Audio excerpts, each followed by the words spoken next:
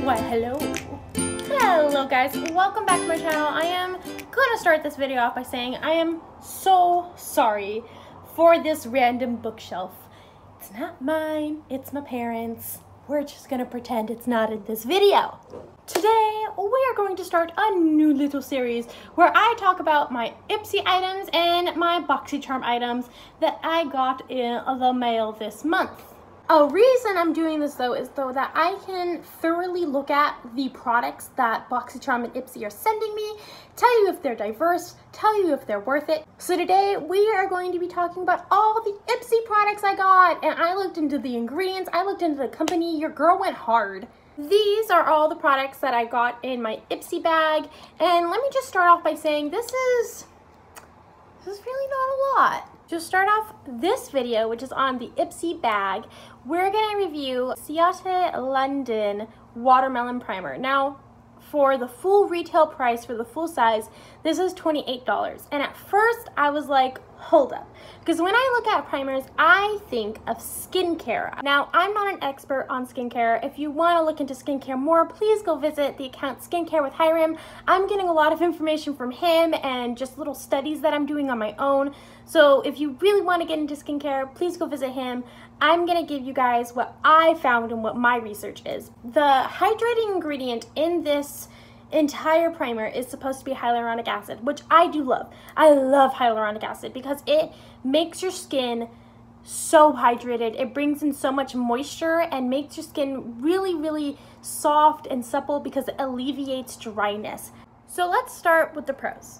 I do like that it is initially hydrating. I put it on my face and it feels really nice and like supple. Um, it makes my skin feel like very dewy, which I like. I like to have dewy skin. This isn't a cream-based primer. This is more like a gel primer. So you don't really need that much on your face. Well, I kind of go in with a lot because your girl has super dry skin, but you don't really need a ton. The beginning part of the list, there's nothing, I couldn't find any ingredients that I specifically didn't like. They just didn't seem like they needed to be there. Now, I will say that while hyaluronic acid was much lower on the list, that is because you can only use hyaluronic acid at like a certain consistency. If you go over that point, then it might not be too great for your skin. It could be like too much. So I don't really mind that hyaluronic acid is towards the middle of the list. I can understand why that might be. And I would just want a few less ingredients. I feel like this has a lot of ingredients that just don't really need to be in there. One of those ingredients actually being alcohol. I just feel like alcohol doesn't really need to be in the primer unless they're using it as a preservative. And still, there are so many other preservatives that if you just up this to $30 instead of $28, you could use that as a preservative instead of alcohol. Another thing I had a problem with is that they use fragrance. So I don't know about you guys, but I do not like having fragrance on my face. It is extremely irritating. It burns really bad on my skin.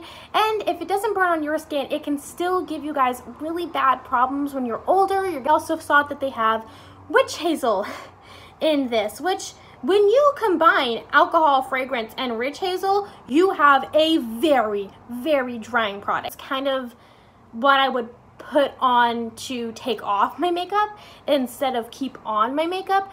And I, I think that it almost entirely defeats the point of having hyaluronic acid. So my overall thoughts of this product are, you know, I enjoyed it. It smelled really good, but I would wish it just didn't have fragrance at all. I did enjoy that it was, you know, moisturizing, but I felt like something can be temporarily moisturizing and drying later on, you know? And I feel like this is kind of what this product is doing. All right, next product. Now this next product, I don't, I don't entirely know why I got this product. Specifically put that I did not want neutral eyeshadows. I have retaken the quiz many times because they keep sending me neutral eyeshadows. I don't want neutral eyeshadows.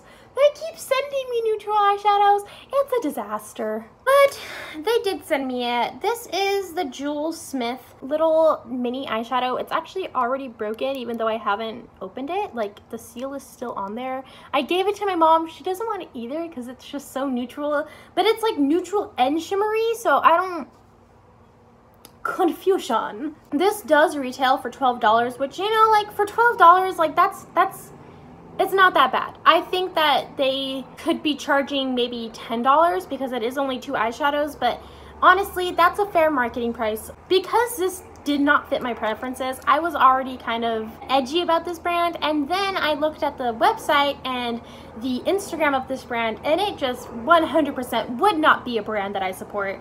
Uh, it has an extreme lack of diversity. They have absolutely zero support for the Black Lives Matter movement. Just anything that like shows me that they're like really invested in diversity, which for me, the very first thing I look at in a brand, I've, I've done this with so many brands, is I look at their diversity. I look at their feed and I see how many models they have that are African American or Latino or Pacific Islander. And this brand, like literally, I had to really, really, really scroll in there to see very many models. And it was like, you know, like it was like maybe one every one to three months. And it's just, no, throw the whole brand away. I can't deal with it. I don't do it. I don't play those games. Don't send me brands that don't reflect my personality because then I, what am I supposed to do with this? What am I supposed? I don't want to. I don't want to wear it. I want to support it.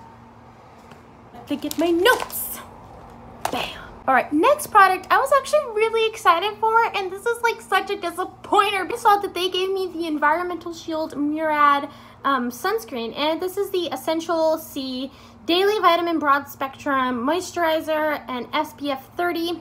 And here, here's the thing, right? the very first thing that I was a little bit iffy about was that it was called Essential C. Now, if you don't know, vitamin C is a completely unstable. And so if you have it in kind of like these like cream forms, um, it's actually gonna go bad really, really fast because it's exposed to air and sunlight. And so the first thing I thought was, oh gosh, I really hope this doesn't have vitamin C. And I did look and I couldn't find anything that specifically stated it was vitamin C. So I don't, I don't know where they're calling it essential C. So when I started looking at the active ingredients, the first thing I noticed is that uh, oxytonex and oxybenzone are the top ingredients. And if you don't know, those ingredients are what basically make this thing a sunscreen. But they contribute to the coral reefs being like bleached and killed. If you didn't know, let's transition. Um, there are a few chemicals in sunscreen that can actually really hurt the environment, specifically through bleaching coral reefs. And one thing to off-put that is to get mineral sunscreens, which don't use these extremely environmentally toxic ingredients so that you avoid hurting the environment. And Murad is actually a really well-known brand, so I don't know why they're using ingredients that could hurt the environment, especially because it's called Environmental Shield. If you're gonna call your product Environmental Shield, and then you're going to use products that kill the ocean, I don't. Okay?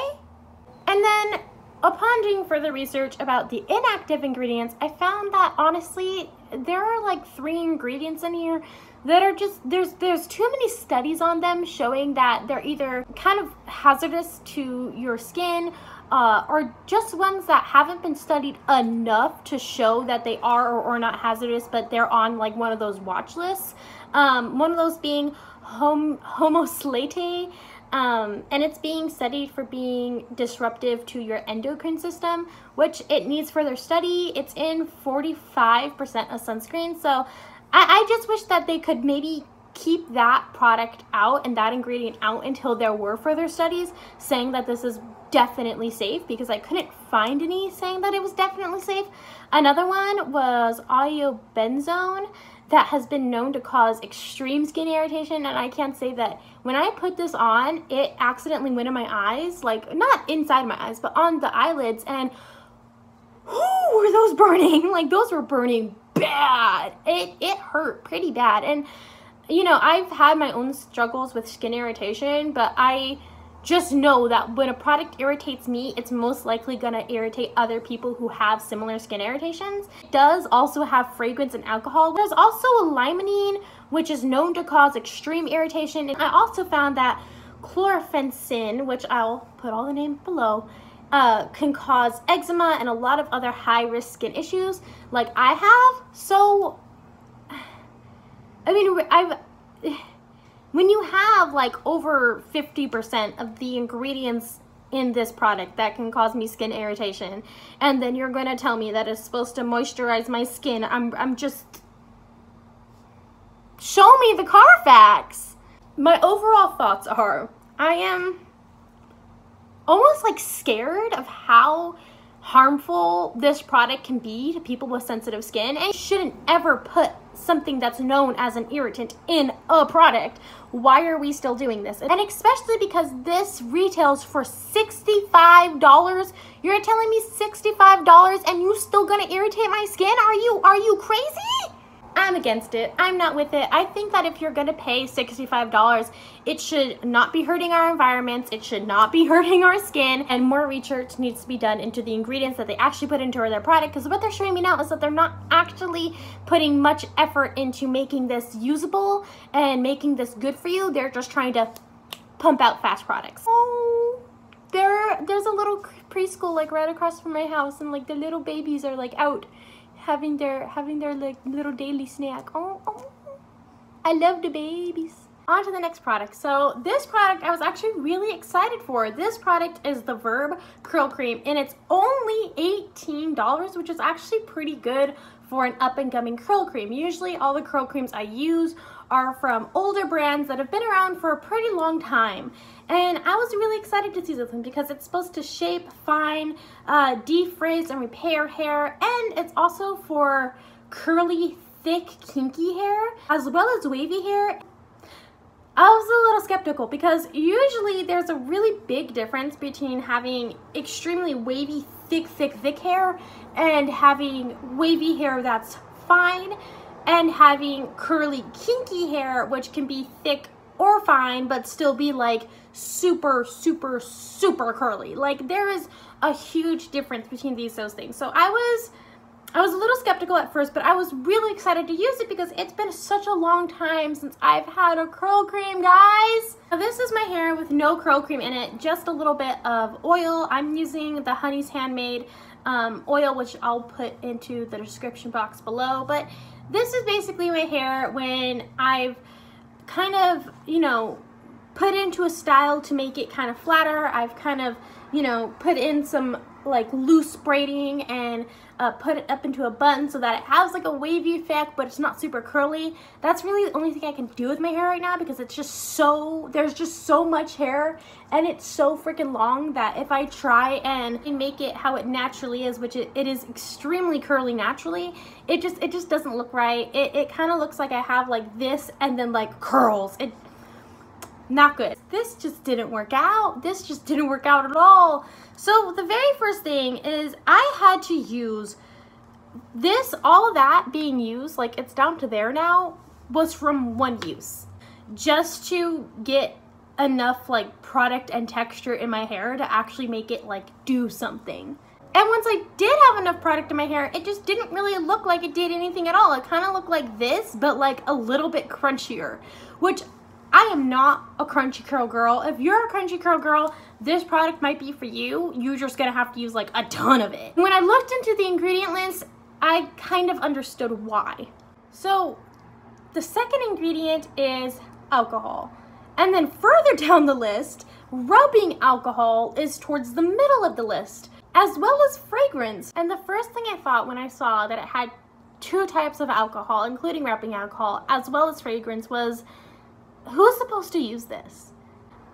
I just kind of felt like, why would you, why would you advertise this as something that's supposed to repair hair and like make your hair nice and silky and like moisturized when all you're going to be doing is damaging the person's scalp?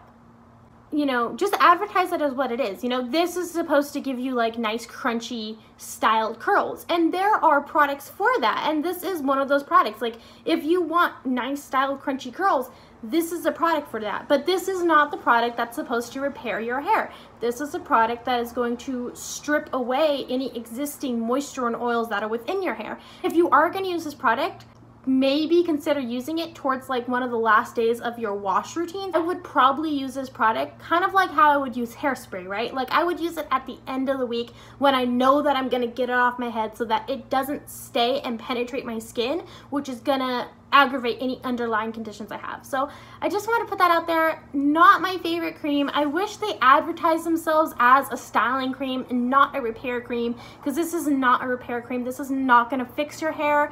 This is just going to style your hair. And I think there's a really big difference there. The next product I want to talk about is actually this one. It's called Thrive Causemetics Lip Filler, and this is in the color Devon. I'm actually wearing it today, and this is honestly the only product that I 100% loved. Not only because I love the lip filler itself, I think it's like so nice. It's such like this nice deep red color. It's almost like red wine. I love it, but because the company itself is probably the only one here that I would 100% ride or die for. Thrive Causemetics um, is a company that is made to help women. 10% of their proceeds go towards women-founded foundations, women-funded foundations. Currently, they've committed to $500,000 of their funds to be for frontline workers who are women. And then they also have already worked with cancer foundations and foundations for women who have survived domestic abuse as well as homelessness and female veterans, which is like super cool. Um, they also do want to diversify their company more, which is pretty admirable. Like I really enjoy that they are taking accountability for their lack of diversity and really saying like, you know, like we want to do more they do have a pretty diverse feed. It's not the most diverse, but I do see a lot of women of color on their feed, which I really appreciate because it, I don't like to support foundations that are only for, you know, white women. I like to see that my people and that other people who live in America, like to see that they're getting held and appreciated and uplifted too. I also saw that they did post something um, on their feed committed to hiring more black employees, which, you know, I would like to see it happen first before I say I'm 100%. I love that they're diverse. I'm not saying that they are completely diverse yet, but I see that they are really actually taking the steps to make themselves diverse, which is pretty admirable. And the last product, which is another product where I was just Oh, man. Pure is uh, this up-and-coming company, and they sent the Illuminating BB Cream with SPF 30 in it. And this retails for $30. And let me say that the product itself is really awesome. Um, it's to brighten and protect the skin, and it also has goji berries and jasmine in it, which is like super awesome.